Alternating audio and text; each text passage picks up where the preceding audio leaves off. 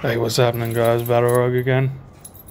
Just sharing some purple haze fruits that have almost ripened up.